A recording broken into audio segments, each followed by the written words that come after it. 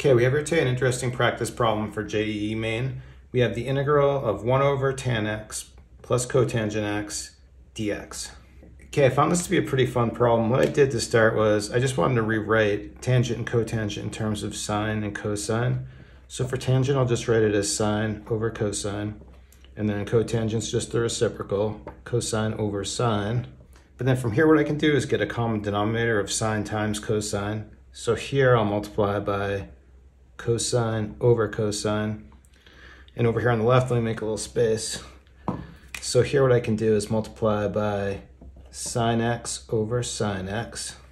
So then now that we have a common denominator, let's put it all together with sine x cosine x in the denominator. Here for the first piece, we're gonna have just sine squared. And then for the second one, we get cosine squared. But now this thing here, sine squared x plus cosine squared x, that's just one. So for this whole thing, it's just going to become 1 over sine x cosine x. So now let's just take this and put it back into the integral. But because we have 1 over sine x cos x in the denominator, I can flip it and bring it into the numerator and write this as just sine x cosine x dx.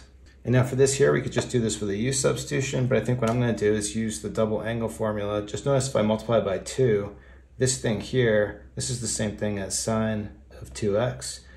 I don't want to change it, so I'll multiply by a half out here.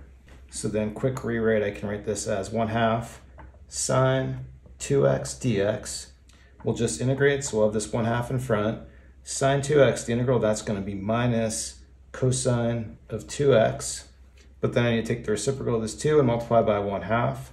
And so for my final solution, we just have minus 1 over 4 cosine 2x plus c, and that's it.